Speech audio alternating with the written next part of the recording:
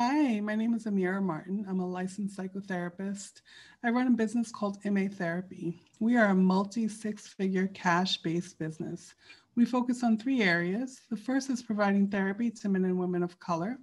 The second is providing diversity, equity, and inclusion specialists, as well as BIPOC mental health experts and workshop leaders and speakers to communities and organizations. And finally, I offer private practice coaching and development. I look forward to connecting with you and helping you to build. So sign up, stay tuned, and enjoy the build.